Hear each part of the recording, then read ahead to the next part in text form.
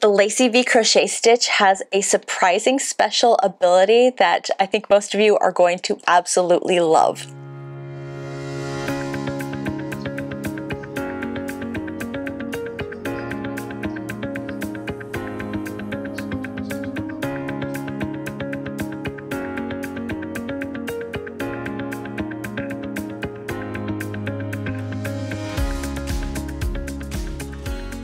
The Lacy V crochet stitch is beautiful. There's a lot of depth and dimension in this stitch.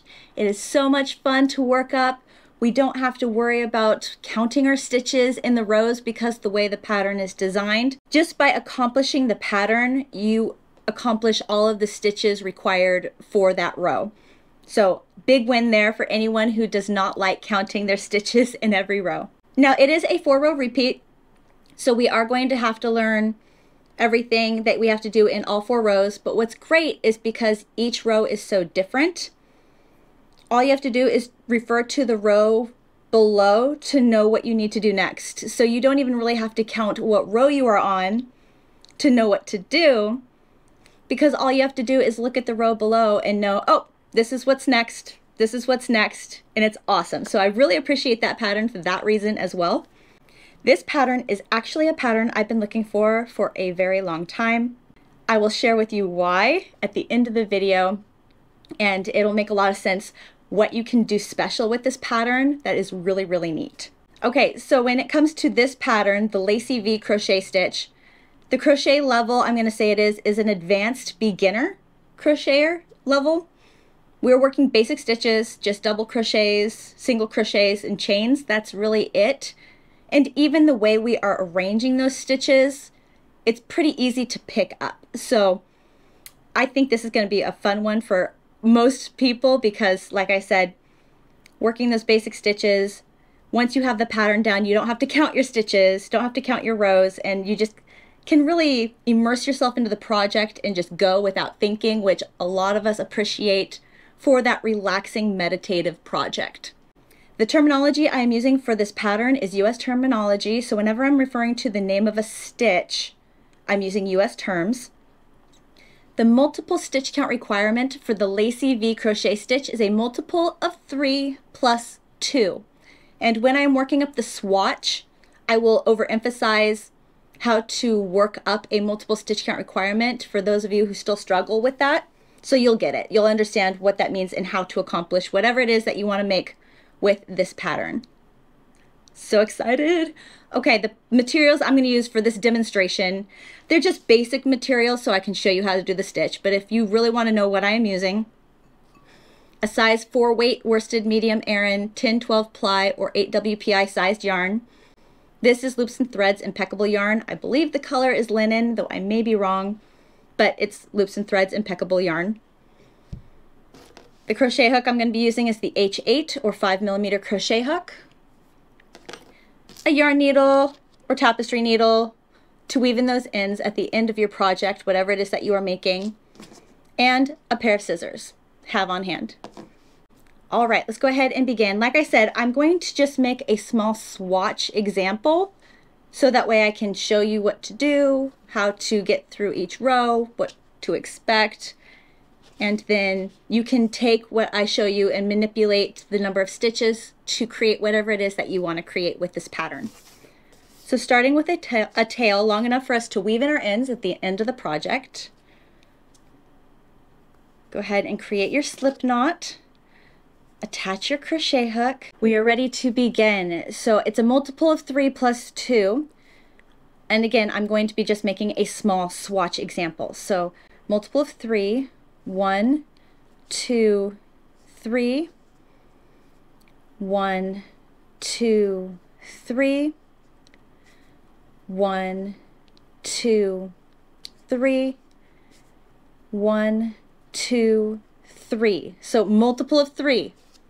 Got that covered. So I have a total of 12 stitches here and then plus two. One, two. So basically do the multiple of three until you have met the dimension, the width dimension of whatever it is that you want to make, and then add two. Here we go. So I have 12, 13, 14 stitches in my little example here.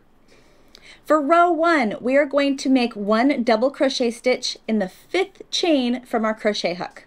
So looking at our V-stitches, one, two, three, four, five, double crochet.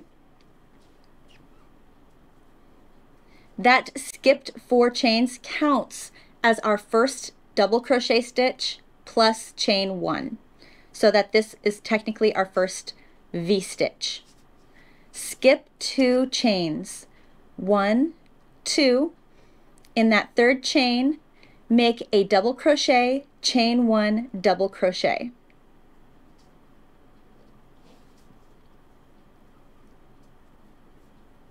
Double crochet, chain one,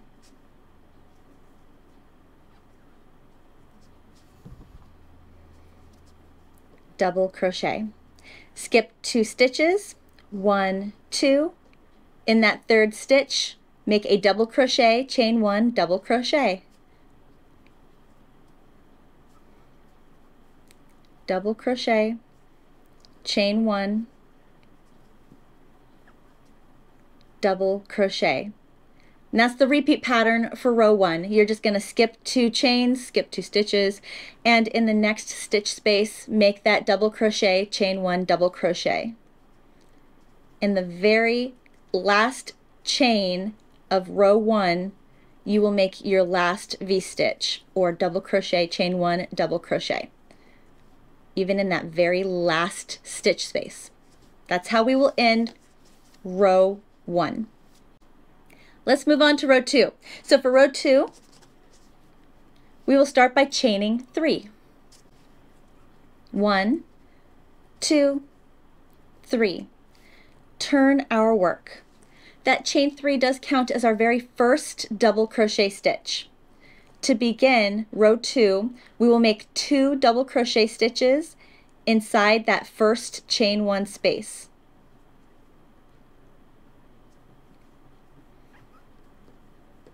One,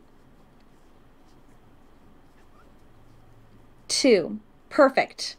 And for the rest of row two, all we are doing is making three double crochet stitches in the chain one space. So literally just locate where's the next chain one. It's not between the V-stitches here where there's a two stitch variation from the foundation row. Look for the V-stitches with the chain ones and make three double crochets.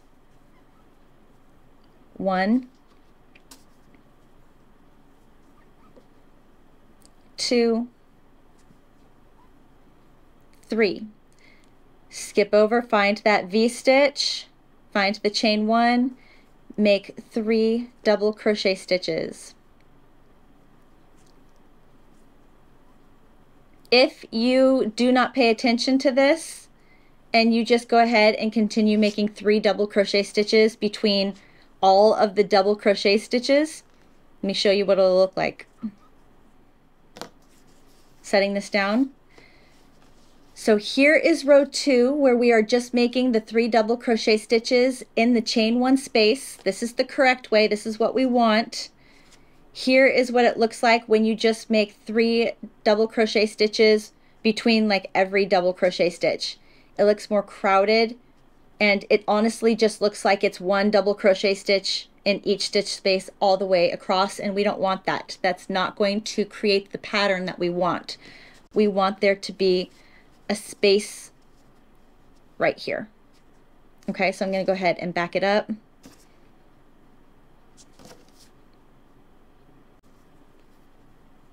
And do what I'm supposed to do and make three double crochet stitches in the chain one space. Now at the very end of row two, you'll see that we have that chain four turning chain that we had in the very beginning. We're just going to make all three of our double crochet stitches in this giant space at the very end of the row. One, two, and three. All right, so here we go. This is what hopefully you are looking at right now. We got all of these spaces between the stitches so it looks very spread out. Yeah, that is hopefully what you're looking at right now. Let's move on to row three. So for row three, we start by chaining one. We turn our work. Great. To start row three, we are going to make one single crochet stitch in the first two stitch spaces. One, two, then chain three. One, two, three, skip two stitches, one, two, and single crochet in that third stitch space. Now this just so happens to be the very center double crochet stitch of the three double crochet stitches that we made. So either way, if you want to count your stitches and be like one, two, single crochet, one, two, single crochet, you can do that. Or you can just refer to the pattern and go one, two, three chains. Look for that center double crochet stitch and single crochet in that center double crochet stitch. Same thing. It'll get you in the same spot. Okay? One, two, three, skip two stitches, one, two, single crochet in the next.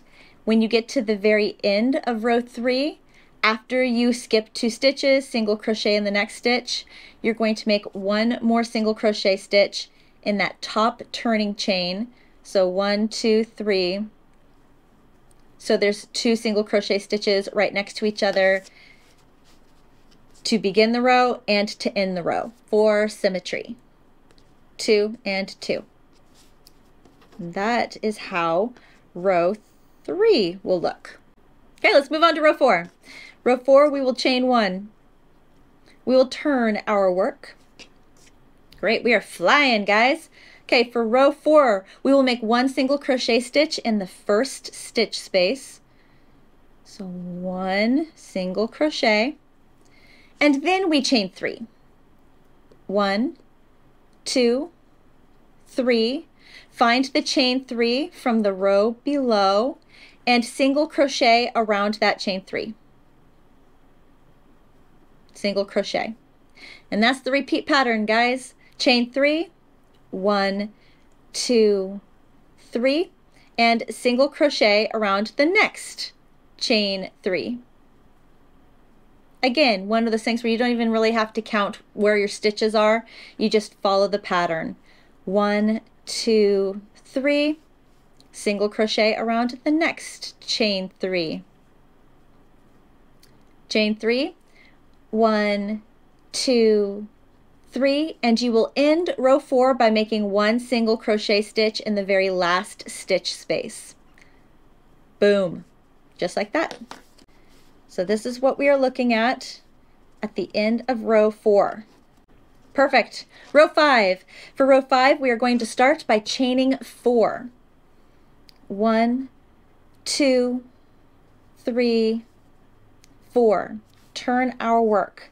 Now that chain four counts as our first double crochet plus chain one.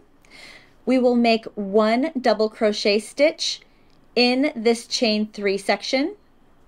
Oops, need to yarn over first. Double crochet, and this will technically count as my first V-stitch.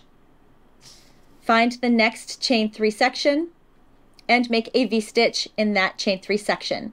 So double crochet, chain one, double crochet.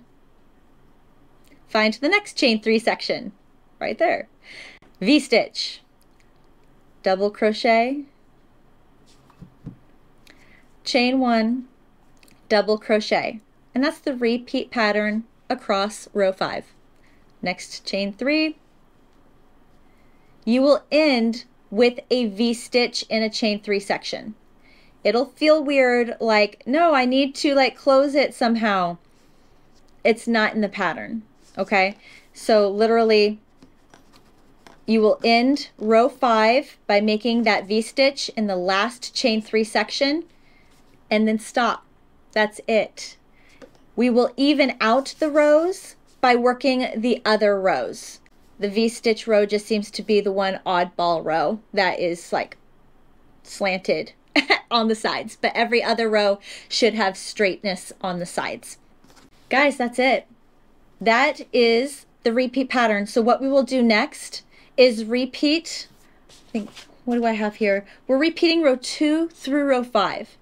So row two is the three double crochet stitches in each chain one space. So to repeat row two, I will chain three, one, two, three, turn my work. That chain three does count as my first double crochet stitch. And then I will make two more double crochet stitches in that first chain one space. One, two, and then go about making three double crochet stitches in the chain one spaces all the way across. One, two, three. Now, what is beautiful about this pattern? Now, like I said before in the beginning, once you get the pattern down, it's really easy to just refer to the row below to know what you're supposed to be doing in your current row. If I see in the row below that I just made my V-stitches, then I know that right now I need to be making the three double crochet stitches in the chain one space between my V-stitch. When I get to the next row, I'll see all of these groups of three double crochet stitches and I know, okay, this is the row that I need to make two single crochet stitches and then start my chain three single crochet in the middle double crochet stitch chain three, single crochet in the middle double crochet stitch. And then after that row, I will look and I'll be like, oh, I see that this row, the row below has all these chain three sections. I know in this row, I need to do one single crochet and then chain three and single crochet in the chain three section. So it may take a second for you to work up your first two repeats, like work row one through five, and be like, okay, so here is the basic, this is the foundation, and then work up row six through 11, which is your first repeat, and then be like, oh, I see how it's repeating. And then you can go back in your pattern and literally visually see, oh, this is how it goes. Okay, one, two, three, four. One, two, three, four. One, two, three, four. I got it.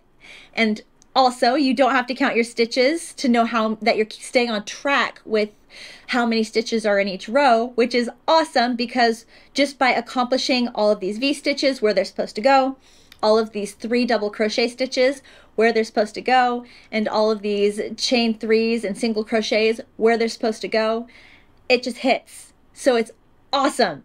Super awesome stitch. I love it. So I mentioned in the beginning of the video also that I've been looking for this pattern for a long time, but it looked different.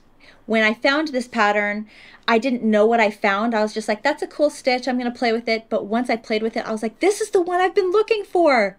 And this is why.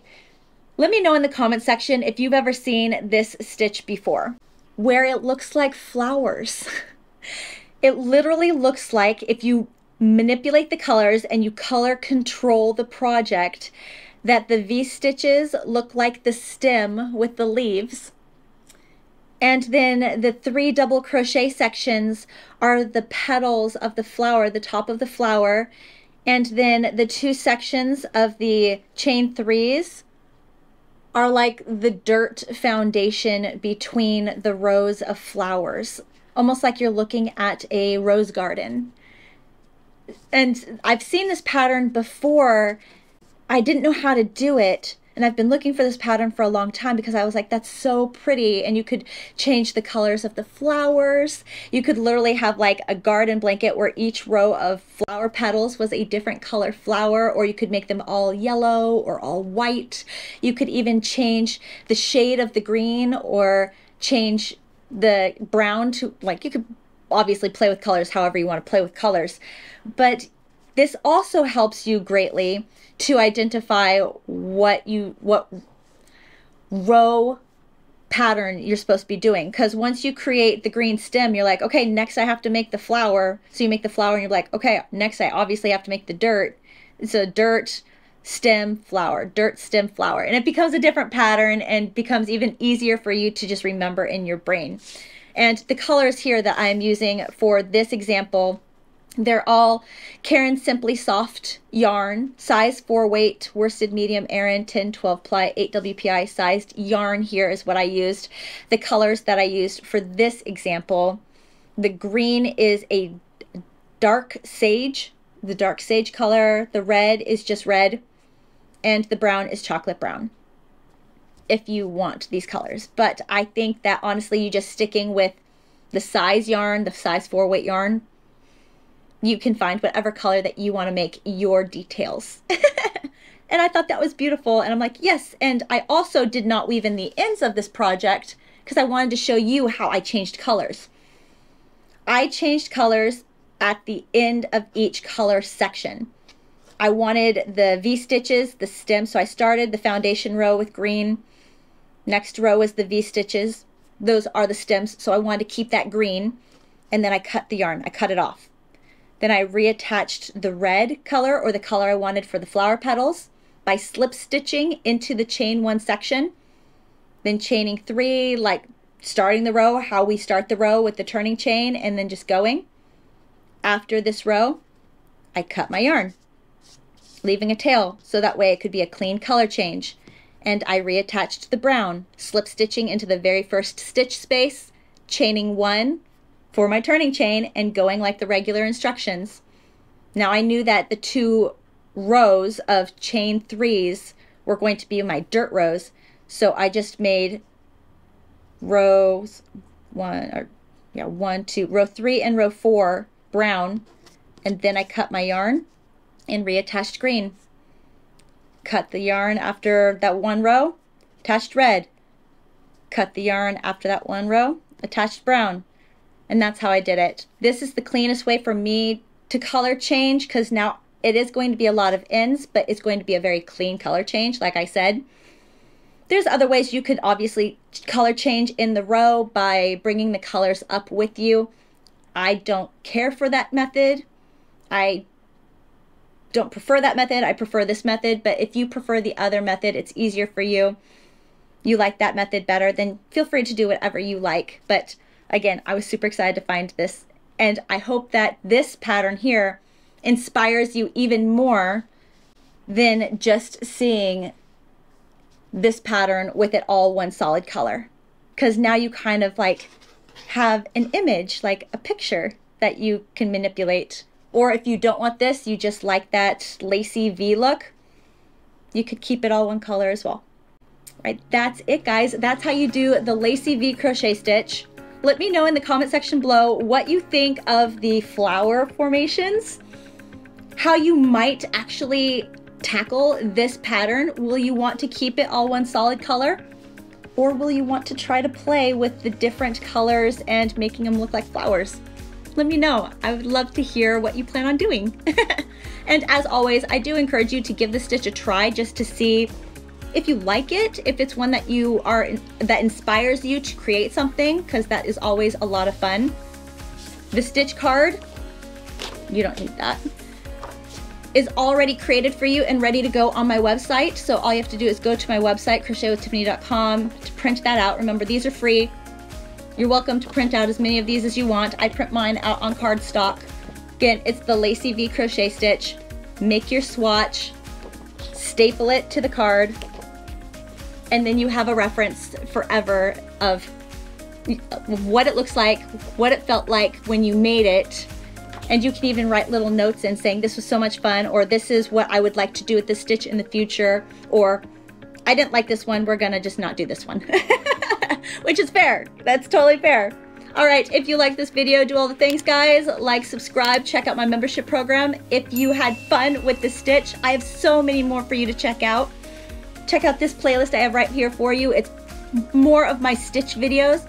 Let's just keep going, have some more fun playing with crochet stitches, crocheting together. I hope you have a beautiful day, guys, and I will see you with my next video. Bye.